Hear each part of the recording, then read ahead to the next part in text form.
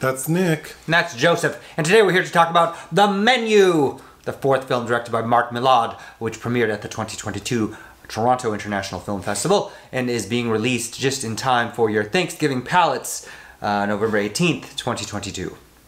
The director? Mark Mylod, who's probably best known for his work in television and things like Succession, Game of Thrones, um, couple other things I actually can't think about. Uh, in film, uh, his last feature was an Anna Faris film called What's Your Number, which I remember not liking. Uh, and his debut was technically Ali G Indahouse.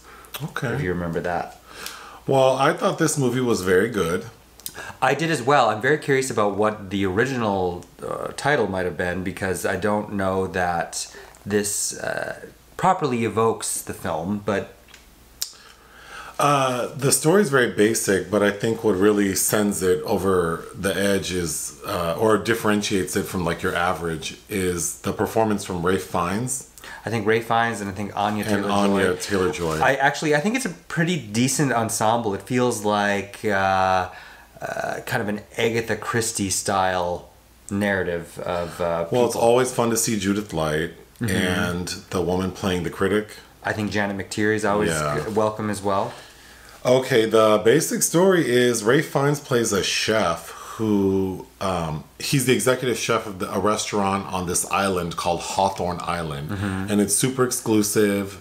Uh, it appears that only like 12 people a night maybe are allowed to attend uh, at 1250 $1250 a head tip is included which i thought was quite reasonable but anyway yeah that's not that bad really but um and so spoiler review mm-hmm. obviously. We find out that he and his staff are basically at their wits end. They no longer find joy in the art of like like in the culinary arts. Because he in particular the, the weakest part of the story to me is we don't really understand why his staff are involved in this plan but he has reached a point in his career where he's sort of forced to cater to this elite clientele but the joy of cooking is lost these people only care about the experience not the actual food Yes, he's backed himself into the upper echelons to a, a, corner where he's forced to try to please people that can never be pleased. So he decides that on this night, on this day, he has created a menu, like a prix fixe six course meal, which sounds like that's what he normally does, that will culminate with all of the guests being killed along with all of the staff. Mm-hmm. So it's like a murder suicide Jonestown situation. It's like Jonestown on the Food Network. But where things sort of uh, differ is that Anya Taylor Joy's character, she's brought there by a character named Tyler, played by Nicholas Hoult, mm-hmm. who had originally had a, a, different date, like his girlfriend, but they broke up, broke, broke up, so he brought her. And we find out not only is she a prostitute, but that Tyler has been communicating with the chef for like the past eight months and was privy to the plan, which is that everyone was going to die. So he hired this poor lady knowing that she would be killed. Fortunately, the chef takes a liking to Anya Taylor's character because he recognizes that she's a service worker just like he is. Mm-hmm. But he still says she has to die. However, she has to pick what side she wants to die with, though. The, the, the, the givers or the takers. But another part of the plot that we can get into that didn't quite make sense to me is he allows her to leave the restaurant to go to his quarters to get something. And while she's there, she sees some of his personal effects, the chef's. One of which is a news article of Ralph Fiennes uh, as the chef, as a young man, like cooking at a burger joint. And he has this big smile on his face. Whereas every other picture, he's not smiling. So right at the time, like at the 11th hour when they're all about to be killed, Anya's character stands up and says, Wait a minute. I want to take, I want to send my food back. I didn't like it. I haven't enjoyed anything you prepared tonight. Part of the experience is that I enjoy it, and you didn't provide me that. So, not only that, but I'm also hungry. Mm-hmm. And he says, Well, what can I make you? And she asks for a cheeseburger. And we see Rafe like light up, like, oh, I can make you the best cheeseburger you've ever had. And he does. And she says, which I thought was a pretty slick plot point, or you know, a part of the story is she goes, "Can I take this to go?" Meaning, like, can I get the fuck up out of here? Mm-hmm. And he grabs this lady a to go box, But only at the point where she pays as well. and then she pays her little nine mm-hmm. I I really th- I thought that was a good part of the movie, and then she leaves, mm-hmm. gets on a boat to get off the island, and then we see that the final scene for everyone else in the restaurant is that he's made all of the uh, guests into like human s'mores bars, and he lights that bitch on fire. Uh-huh. The end. uh, while she looks on uh, at a distance from the boat she absconded on, eating the remains of her cheeseburger. That's right. So beyond just the really strong lead performances, I felt I really appreciated that the film ended in sort of a I mean it's, I mean it's sad. It's sad. It's it's. I mean, technically, you could classify this, this as a horror comedy, but to me, this it it. It was kind of depressing as a social satire. I've talked about this before, but it really resonated with me as someone who also used to be a service worker, um, specifically doing hair. Like that, all the joy of it gets sucked out. So then it's like the more sort of elite one becomes, and the more I can charge, and the the better clientele, it actually becomes like like a less desirable environment. Yes, and then uh, paired that if you're uh, like working in, in some creative capacity, serving people, and when you become beholden to that uh, as your livelihood, and how that can ruin you as an artist. So going through my notes, you know, we're not rich, so twelve hundred fifty dollars is a lot of money to me. That would be a very special treat, but Right. But I kind of thought that because the experience of these people is they get on a ferry, they take the boat, they get on the island in daylight hours, and the head person played by Hong Chau, Hong Elsa, Chau, mm-hmm. Hong Chau's like the main assistant to the chef. She gives a tour of the grounds because all of the food that the customers are eating are either like harvested from the island, sourced from the ocean, or they have a farm where the other meat comes from. So like they get a tour and everything's explained to them, and then this is a very elaborate experience with the six course meal. I kind of thought twelve fifty seemed cheap because it's also paired with wine, and then Rafe Fiennes's character does say like the tip is included. So I thought, yeah, that seemed really reasonable. Not that I'm running around paying twelve fifty for dinner. Well, it, it's a, it's a weird balance because you know they explain how they age the the cows for as well. 150 whatever And it, days. it, it seems very much like you have a very short limited of time to eat this meat at a certain taste level before it goes bad. And- also, if they're only allowing 12 people, I'm assuming per night, that's not a lot of money. Like, you know, 13, 14,000 dollars a night for this very elaborate. So that seemed odd, but But maybe the overhead's low because the only one that doesn't live on the island is the chef. Uh, he does live on the island. He just doesn't live in the dormitory with Right, the right, right. Yeah, That's right. But um, if there's a situation like this out there, I would go. If someone wants to invite, I mean, just don't kill us. sure, but but I would you know um, uh, so the opening is really awkward because when Anya and her date uh, what's his name again? Tyler, played by Nicholas Hoult. Nicholas. When they get to uh, oh gosh what's the assistant's name? Elsa, Elsa. Hong Chau. Hong Chau's character. She's running through the invitation list and she goes oh you must be Ms. blah blah blah. And Anya's like no.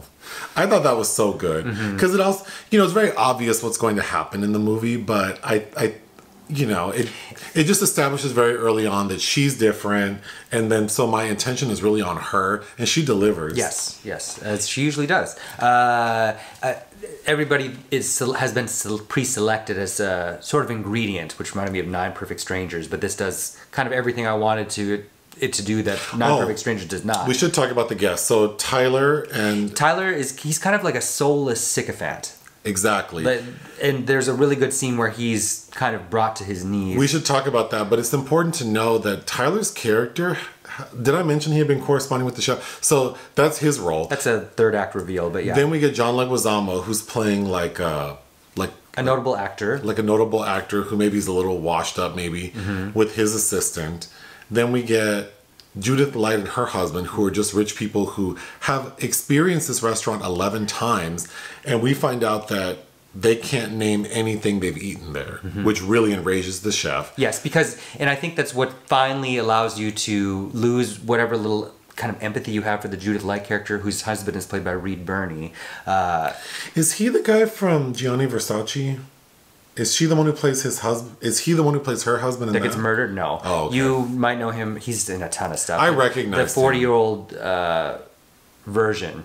Oh, he plays the producer. Yes, I thought they were great, but yeah, they play like House of Cards as well. Yes. what can I say? Then we have three addition. Then we find out that there is a benefactor to the restaurant. Mm-hmm. There's a really funny line where that person, he so three of the person who's funding the restaurant, like a, like a uh, what do you call it? Uh, an angel investor. He has three sort of like uh, minions who are eating that night, and they're being total douchebags because they think they're a big deal too that angel investor, Rafe Fiennes has like kidnapped him and kills him. In front of them all, yeah. Yeah, Out, out- he- outside of the restaurant, he He does this whole fallen angel thing where he puts wings on him and Yeah. drowns him. But I thought there was a funny moment right before they, right, right before Rafe kills that guy. His little three minions are like, "He kept you open during COVID."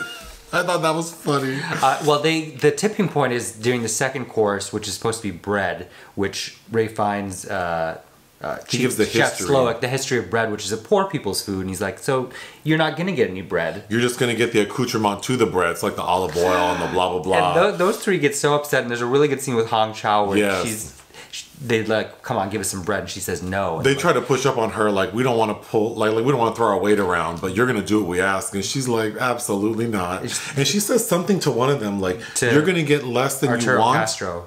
no she, she goes you're gonna get less than you want but more than you deserve Mm-hmm. i thought that was creepy Uh, yes, but at the point, you know, it felt very. I think the moment that feels very good is they're like, "Did you just say no?" And if you've ever worked for some asshole that uh, gives you a line like that, run away screaming because but going back to the he kept us open he kept you open during covid then rafe is like i can't stand him he made me do all these things and like he made me like do substitutions and then rafe is screaming there are no substitutions i thought that was really funny um they something else that kind of didn't work for me is immediately when we enter the dining room we see that there's this old woman sitting off in the corner by herself drinking lambrusco which obviously does not fit with the tone of this and high-end your, restaurant your ears are supposed to perk up at that. I too, know, but, she's just like this, and then we find out it's Rafe's like the chef's mother, and that he sort of despises her. So But the, it's interesting because the, the there's a class hierarchy in, um, built it connoted by food, and I'd, I'd like the Janet Mc, you know watching it in a film full uh, room full of film critics. It's like there are people there that sound just like she does. oh, I didn't mention she's the final guest, so it's Janet McTierney Janet McTeer. McTier with she's like a notable food critic, and the reason she's been brought there is because she's kind of awful because some of her reviews have caused restaurants to close down. And then her assistant, who's like a total ass kisser, which I thought was very well done. uh, I think he works for the magazine she's covering this Oh, article right, for right. because he picks up the bill. But Then there, one of the courses is like the chef's signature dish, which is like chicken tacos, but he's done something different where all of the tortillas have been laser printed with something relevant to each um, guest. and there's a nice withering line about having to stay relevant. And I thought that was really good because there's like images of like, you know, Judith Slice's husband is like with some other woman. And And, that- that- like the three douchebag guys, like their um like financial records From documenting secret- money is being locked. Yeah, Islands. funneled to like the Cayman Islands. Uh, that is another thing. I, I, I think that sometimes the, the script by Seth Reiss and Will Tracy, uh, and I believe Mr. Reiss is also a succession scribe, but uh, there's a connection between Reed Birney's also utilized the skills of Anya Taylor Joy, and I, I feel like that feels a little overboard. We don't need that that's kind of just overly coincidental, especially since she's supposed to be the jarring element that makes that throws this whole dinner out of whack.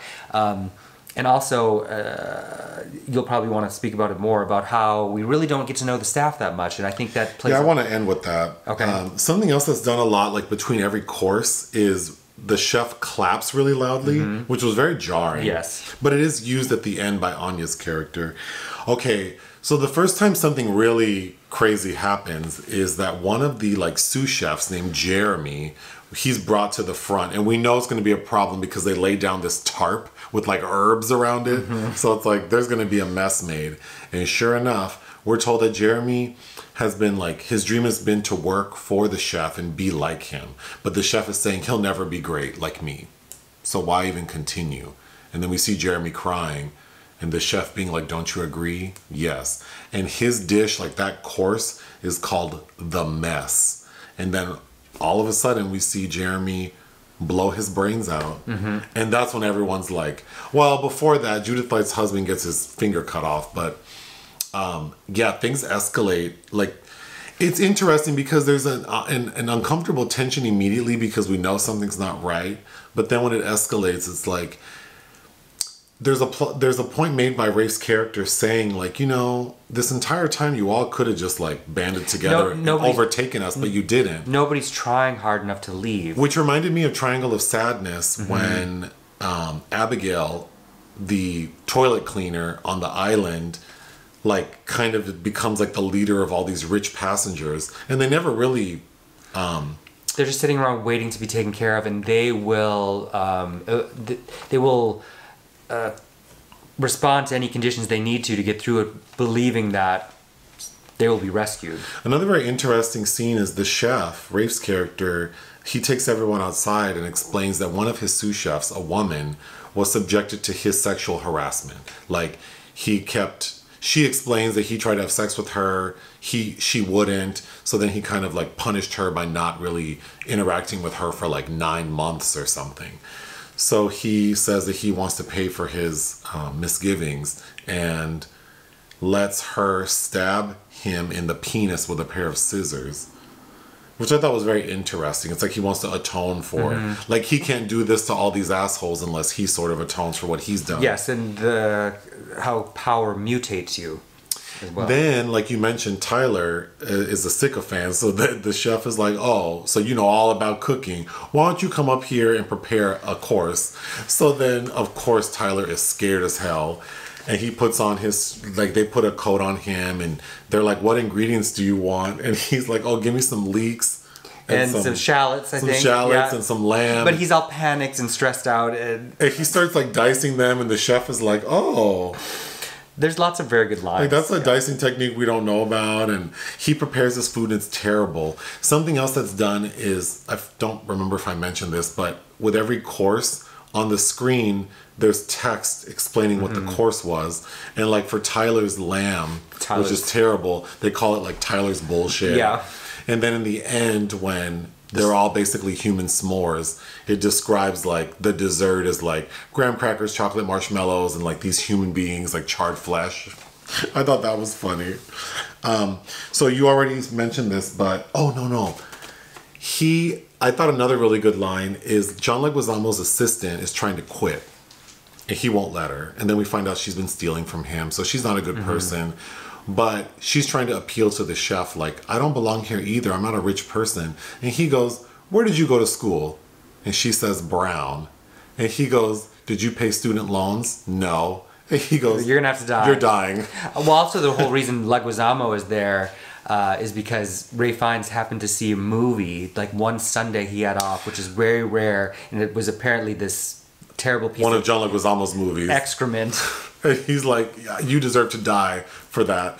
But so I'm going to give this movie a very good score. But the one thing that really, like, like I wish this would have done is we don't know anything about the staff and why they're willing to go through with this Jonestown shit.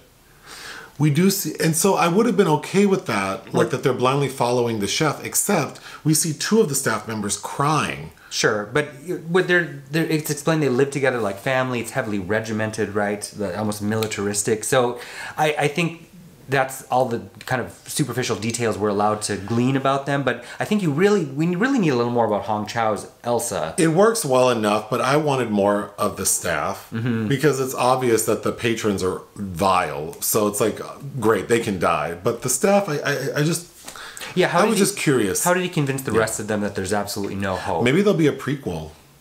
Perhaps. Uh, I like the score by Colin Stetson, who did the score for Hereditary. Uh, it was also shot by Peter Deming, who uh, lends one of the most, one of the best uh, films ever made, really, which was Mulholland Drive. But uh, I, I like everything about it. It's Yeah. just, it, it left me wanting a little more, which is not a a bad thing per se. No. What would you give this film? Uh, I would give it three and a half. I would give it three and a half as well. Anything else? Mm-mm. Hit the thanks button. Listen to our podcast. Bye.